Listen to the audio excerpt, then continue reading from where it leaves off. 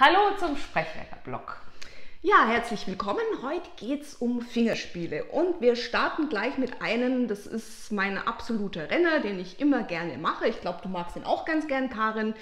Äh, Pim und Pam. Ja, ja, ich wusste es, dass er Pim kommt. Ja, also, na siehst du mal. äh, ganz einfach. Also wir brauchen eigentlich nur unsere zwei Daumen. Das ist der Pim. Und das ist der Pam.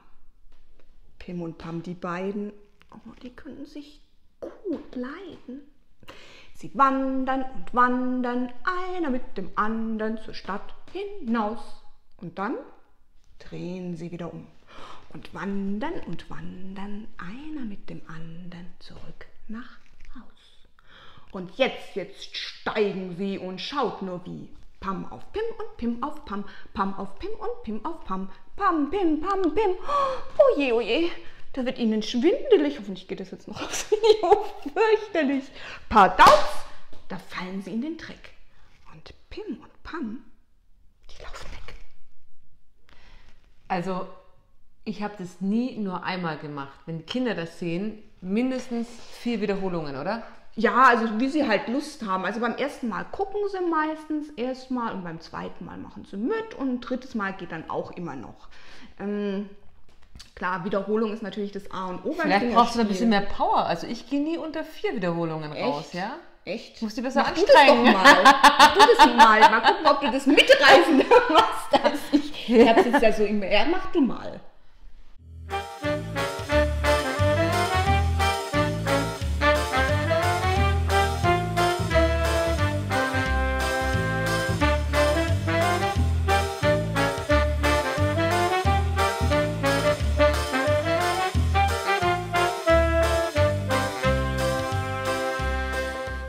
Ja, was ist wichtig bei Fingerspielen zu beachten? Also natürlich sollte man selber den Text kennen. Der kann auch natürlich variieren. Hauptsache, ihr seid sicher in dem Text.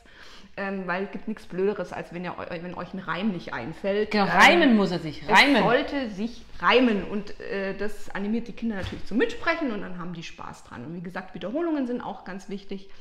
Warum machen wir Fingerspiele? Erstens natürlich, weil es Spaß macht, aber es gibt auch den wissenschaftlichen Hintergrund. Die sind super wichtig für die Sprachentwicklung.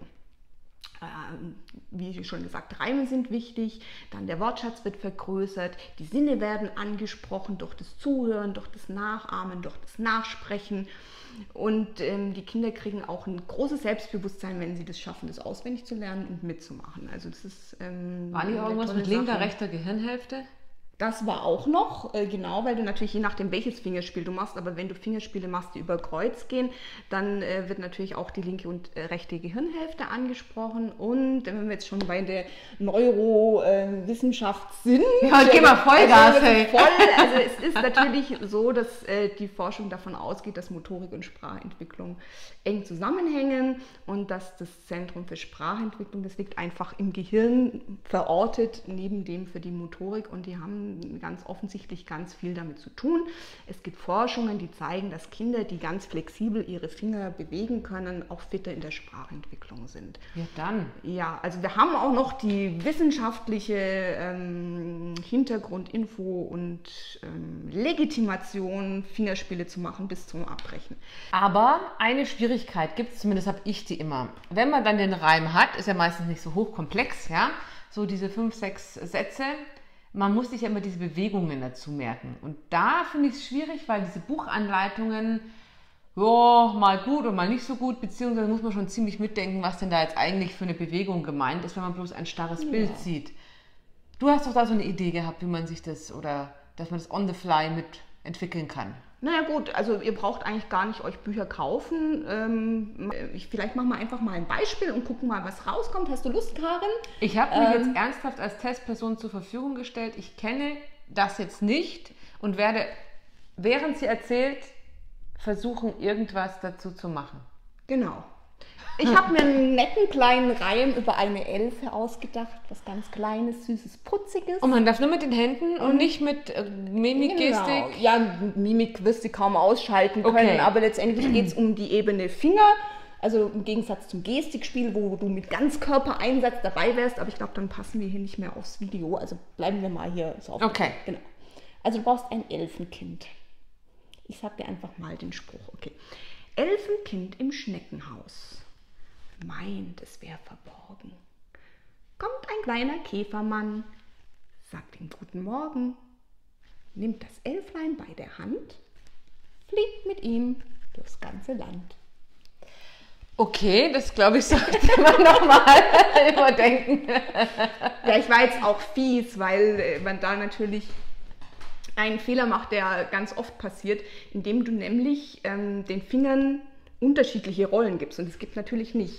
Also wenn, wenn geht nicht. Das- wenn, da- wenn, da- das, wenn das das Elfenkind ist, dann muss das das Elfenkind bleiben. Und dann geht es ins Schneckenhaus, vielleicht so Genau. oder so, ja, dass man sieht. genau. Und dann kommt der dann kommt Käfermann von der Seite. Genau, richtig, weil dann hast du die Rollen klar besetzt, weil wenn nur so ist und dann geht es wieder raus und ist auf einmal der Käfermann, dann meckern die Kinder, weil die sind da sehr aufmerksam und sagen, Moment, das war, also, also es irritiert die Kinder. Okay, Ja, genau. nochmal. Nochmal, okay, also Elfenkind im Schneckenhaus. Meint, es sei verborgen. Kommt ein kleiner Käfermann, sagt ihm Guten Morgen, nimmt das Elflein bei der Hand, fliegt mit ihm durchs ganze Land.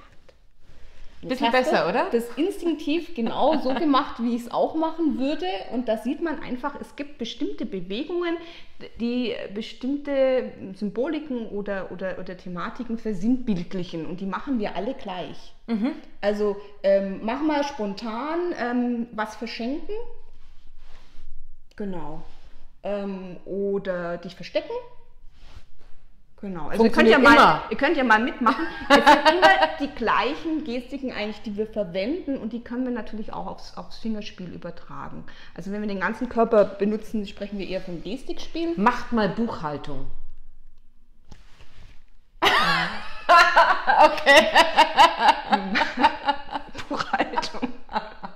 Also das ist jetzt auch kein klassisches Thema von Fingerspiel.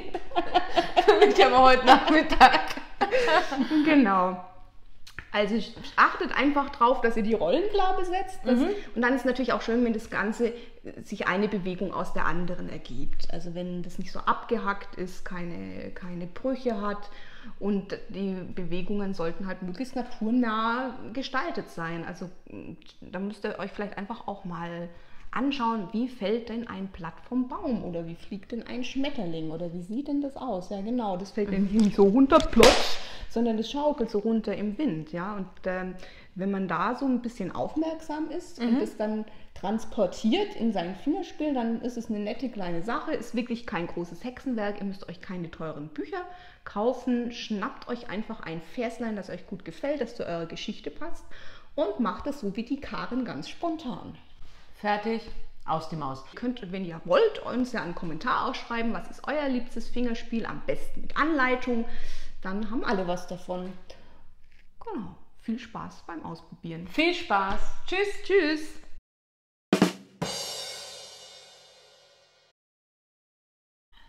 Hallo zusammen. Hallo zusammen! Herzlich willkommen wieder bei unserem Sprechwerker Videoblog. Und Karin? Heute geht es um Fingerspielchen. Also Fingerspiele, nicht Fingerspielchen. Ihr wisst, was ich meine. Für die Kinderversion, ja? Gibt es auch welche für Erwachsene?